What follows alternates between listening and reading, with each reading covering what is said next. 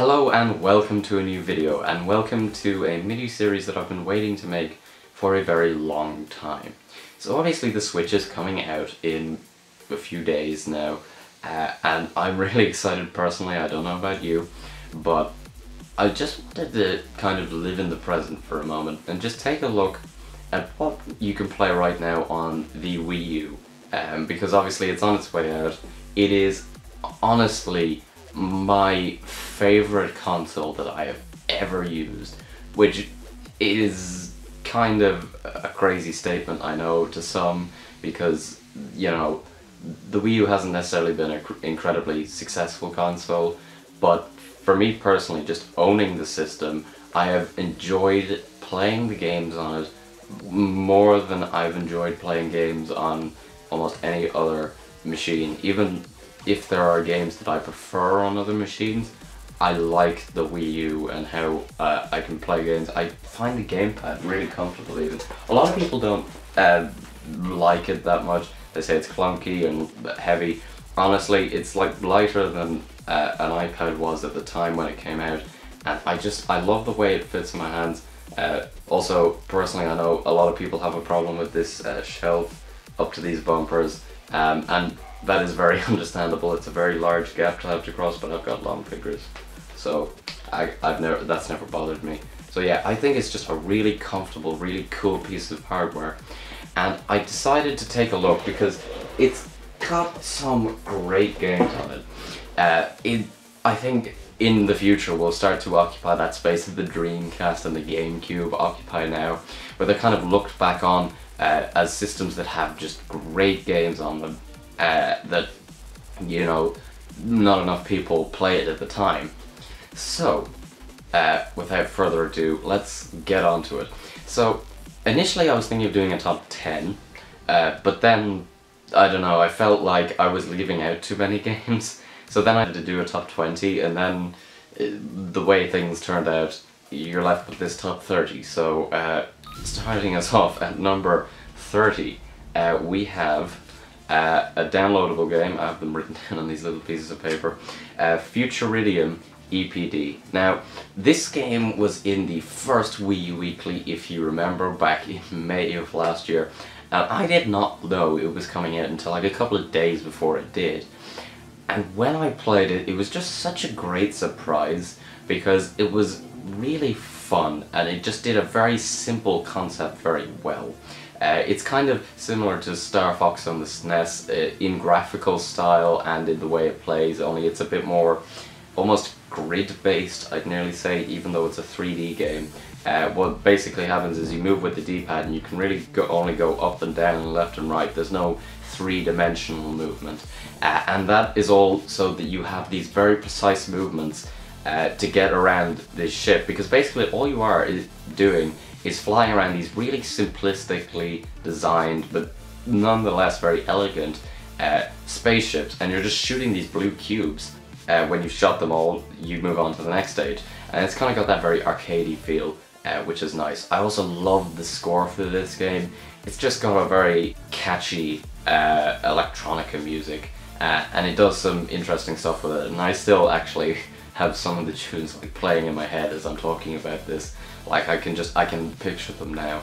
Um, so yeah, Futuridium without a doubt, one of the most surprising games.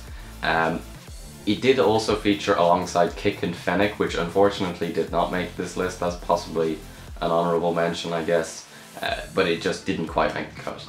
Uh, so moving on to our next game, we have uh, The Swapper. Uh, some people may be surprised to see this game uh, come this low, some people may be surprised uh, as they've never even heard of this game.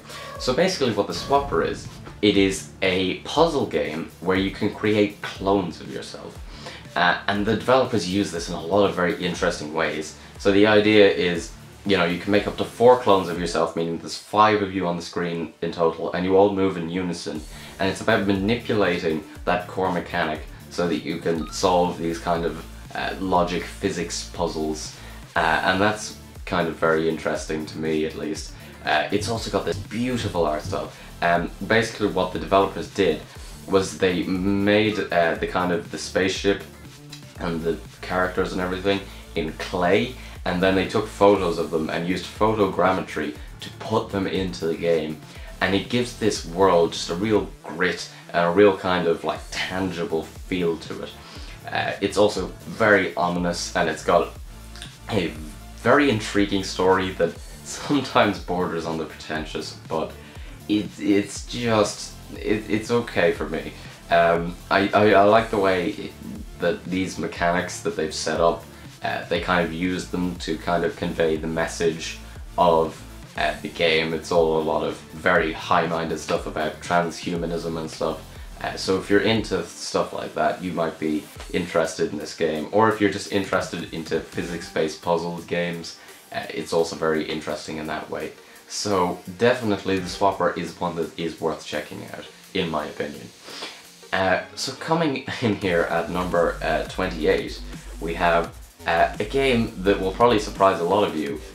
Mario and Sonic at the Rio 2016 Olympic Games. Um, yeah, this is kind of a weird one. So, a lot of people might say, it's just a Mario and Sonic game. I mean, like, think about, like, the, the one they made in 2009 and everything. It's just all, like, shaking with Wiimotes and stuff. And yeah, Mario and Sonic at the Rio 2016 Olympic Games, don't get me wrong, it's not a crazy impressive game. Um, uh, even I said in my review back in my Wii Weekly of it, uh, I said that the game kind of lacked a bit of uh, budget and I think that uh, there were a lot of constraints on the developers because you could see there were a lot of things that they kind of took out that were in previous games and so it ended up being kind of a mediocre package.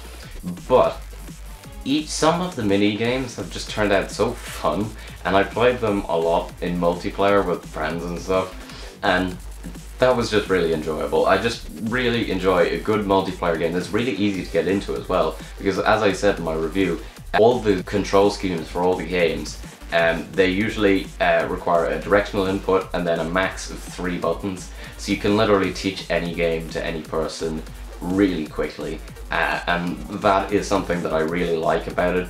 Uh, it could be interesting when uh, Mario and Sonic at the Olympics comes to the Switch uh, you might see people, you'll be able to just hand them a Joy-Con and you'll be able to very quickly explain how the game works and everything. Uh, and that meant, you know, it removed a lot of friction. Now, some of the games did suffer, but some games were very fun and I really enjoyed uh, the cycling in particular. I thought that was quite fun, even though there was only one track. Once again, you see, there were a lot of constraints budget-wise and everything, but personally, I just really enjoyed what was there. Uh, and I hope this team, the next time they're given uh, a crack at a game like this, they can actually be given a little more scope. Uh, so that is Mario and Sonic. It's a bit of a surprise, I know, but we are where we are. So, moving on, we have coming in here at number 27, uh, Paper Mario Color Splash. Uh, this was one of the better games that came out in 2016. 2016 was a bit of a dry year for the Wii U, um, but basically this game kind of shocked everyone because uh, Sticker Star had a very mediocre reception. Um, some people absolutely detested the game and said it wasn't a great RPG and everything. Uh, and Paper Mario Color Splash kind of turned that on its head, and I, uh, you even see, um, if you've ever watched GameXplain, uh, Andre Segers, who's uh, one of the guys who works there, uh, was reviewing the game and he absolutely detested Sticker Star. He said it was one of the worst games that he'd ever played and he never wanted to replay it ever again. And yet, he said this was one of the best games he played in 2016. Now granted, he also uh, even he admitted he hadn't played many games in 2016, but he did say it was actually a very good game. It's got a beautiful art style. I think they've really gone all out with the paper aesthetic in this one. Uh, it's also got some quite funny writing. Uh, I don't know if it's quite, you know, falling off your seat laughing, but it is funny. Um, and the RPG mechanics are alright. Uh, there's a couple too many steps in my opinion. Um, you have to like paint the cards and then throw the cards and everything and that's kind of a bit of a palaver uh, and for a combat system that is not particularly deep. But just because of the world and everything, I think it makes up for it. I think the game overall is one of the best looking Wii U games, but it's just also just really fun to wander around that world, talk to people, see what they're gonna say, um, and it's just fun to progress through the story and everything. So uh, that's Paper Mario Color Splash. Uh, so moving on to a multiplayer game, we have Runbow. Now this was a downloadable game uh, from 13am Games, and if you'll remember, uh, in the first ever video I did when I was doing my top uh, games of 2016, or 2015, sorry, um, I talked about this game and I said how it was really creative. It really kind of, it had this very new concept. The background changed color and then when it changed color to say, for example, uh, pink, all the pink platforms would disappear and you'd fall through them. Or when it changed to green, all the green platforms would disappear and you fall through them if you tried to jump on them. Uh, and that's kind of a very interesting mechanic. What's also very cool about it is it had nine player multiplayer uh, and this uh, was very fun. Uh, I didn't ever get to play it with nine people, in fact I don't think I ever got to play it with more than four people, but with four people it was still pretty fun. Uh, and basically what you're doing is you're just racing through these levels. Um, it's uh, basically a platformer race. Um, the mechanics are slightly floaty, but I think overall the game is really fun. It's got a ton of content. All the modes are playable in multiplayer. And I really like the music as well and the art and everything. Uh, and I think you can kind of get over the mechanics when you're playing it in multiplayer. When you're playing it in single player, that's when it starts to get you, when it starts to hit you that these mechanics are maybe a bit uh, unrefined, the just jumping and everything, the general game feel. Uh, but other than that, I think the game is very creative and I'd really like to see what uh, 13am Games, which are the developer, does next because uh, they just seem to have a very keen eye for like weird, wacky multiplayer stuff. Uh, so yeah, keep an eye on them. So next, moving on to another game with a crazy art style is uh, Kirby and the Rainbow Paintbrush. Now I've already done a review of this game, um, which quite old. I wouldn't necessarily recommend watching it. Uh, suffices to say, it's a sequel to Kirby Canvas Curse, which came out on the DS. Uh, and it was basically done in an effort to find something interesting to do with the gamepad. Now, you can only play it on the gamepad, so, you know, uh, you're not really looking at the TV that much unless you're playing uh, in multiplayer because you can actually have other people who control little waddle dees with spears. They can kind of platform along um, on the TV and everything. But the game is still gorgeous, even on the gamepad screen. It's also got lovely, carefree kind of like music and everything. And I really like also the way uh, the collectibles are handled in this game. Because what you get is, instead of just getting, you know, generic, random, like, oh, you've got so many jigsaw pieces or whatever, uh, you're actually getting these cool uh, statues that are claymation versions of Kirby uh, characters from the past and from this game. Uh, and you can also uh, unlock all this music all the way through from all of Kirby's past. It's like a greatest hits album. I mean, even if they did release a greatest hits album from Kirby, which I think there is one out there somewhere, um, it wouldn't be this good because this just covers such a breadth of the music throughout the Kirby series and I think anyone who is interested in the Kirby series will really love it. Um, so that was Kirby and the Rainbow Paintbrush. Uh, coming in with our next entry we have uh, another 2016 game, Tokyo Mirage Sessions Sharp FE. Um, such a difficult name to say.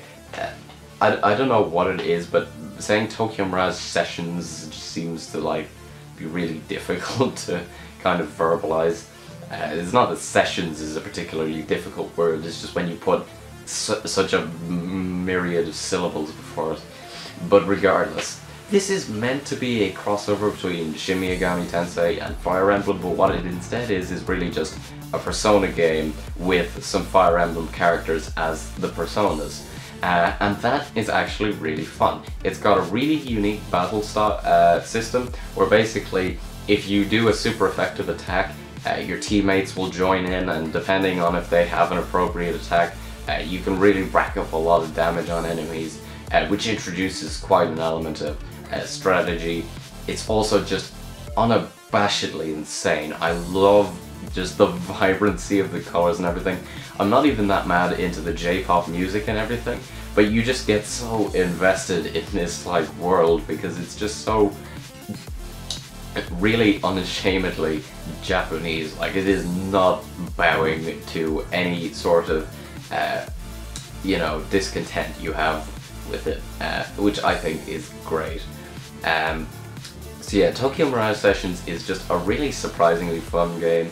Um, I think it was actually quite successful for a game of its uh, genre and style um, on the Wii U, and that's why it's going to be getting, um, the Switch is going to be getting uh, Shin Megami Tensei, the next entry in that series, uh, which I think is probably due to the fact that, you know, Tokyo Mirage Sessions did so well just on the Wii U even, which only had an install base of 13 million. Uh, so yeah, I definitely think that'll be um, an interesting game to look forward to, but Tokyo Mirage Sessions in the meantime is just a really crazy, really fun world to get absorbed in. I really think uh, it's worth a try. I, I really think you should try and get past like this whole, you know, the crazy J-pop aesthetic. It is just as offensive as you think it is, and that is what's so great about it, in my opinion anyway. Um, so yeah, moving on. We have Pokken uh, Tournament for the Wii U. Now this is this came out uh, 2016 as well. Uh, it was from Namco Bandai, and they really knocked it out of the park with this one. Um, it is not necessarily the simplest fighting game, but it is very interesting. It's got a nice little triangle of um, blocks, grabs, and uh, just standard attacks. And the way that works is very similar to how type advantages work in Pokemon, so actually it really fits uh, this particular game. Uh, the phase switching mechanic is also kind of cool. It means you go from these kind of 3D uh, Pokemon anime style battles uh, to uh, these 2D battles. Uh, the 2D battles are really where the meat of the experience takes place. the field phase is literally just to trigger uh, the duel phase as they call it. Um, and it's just really fun to kind of mess about with because there's so many little intricacies and complexities. Uh, plus also the graphics are ridiculous. They're really like realistic, which is kind of strange to see for Pokemon. Uh, seeing Lucario with actual like realistic fur. It's the same with if you look at Pikachu, he's suddenly, you can see the way his texture is more detailed than it usually is. But I think it kind of uh, fits the fact that this is maybe a slightly grittier Pokemon game. Uh, only thing I would say, story is complete trash. The core fighting is so good that if you get into it, while it is kind of, it seems a bit impregnable at the start, it's actually kind of easy to get into um, once you just sit back and you actually kind of like take a look at, at how each individual bit works. Uh, you can even watch uh, my review of it, I kind of detail uh, a lot of the key points about the combat system in that. Um, and yeah, it's just a really uh, interesting game, and I think uh, a testament to that is the fact that at, at EVO this year, um, they actually had this game featured. Um, and it nearly actually uh, won out in the charity donations or something like that, I think I heard. Um, don't quote me on that though, uh, but it, it did very well. Um, didn't quite make it, but you know, it is what it is. You, you know, you can't necessarily compete with uh, some of the uh, established fighting giants straight out of the gate. You know, it, will take a while before the Pokken tournament scene builds up enough, but it's certainly uh, having a good time of it out of the gate. So, we're two from the end of um, our number 30 to number 21, uh, and here coming in at uh, 22, New Super Luigi Bros. Uh, this is an interesting uh, game to talk about because actually technically it's DLC for New Super Mario Bros. U, which was kind of just a standard New Super Mario Bros. game. and I know people might say when they look at this, oh my goodness, it's just a new Super Mario Bros. game, what's the big deal? This game really changes the dynamic of it though. It takes you know, all the assets from New Super Mario Bros. and all the concepts and mixes them up. Um, this is definitely a game for people who've been playing Mario for a while. It's very difficult. It's also got uh, 100 second time limits on each of the levels, which means they don't have any flagpoles or anything. It's just about sprinting to the end and trying to get there as fast as possible. And then if you're really crazy, you can try and get all the uh, big coins because that just puts extra challenge on top of it. It is just one of the most challenging platformers that Nintendo has made in years. And I just I really enjoyed it when I first played it on the Wii U. Uh, plus also just HD does actually make the new Super Mario Bros. style look kind of better. Uh, I know when you look at it on new Super Mario Bros. 2 for example it, it looks like it's starting to wane and it's starting to get a bit samey and whatever. The HD really did give it a lift I do hope that they don't necessarily go back to the new Super Mario Bros. style. I'd like to see them take 2D Mario in a different direction. Um, and I think this is testament that at least if you mix up the gameplay a bit, it can really, you know, make a difference. It's not just like another new Super Mario Bros. game.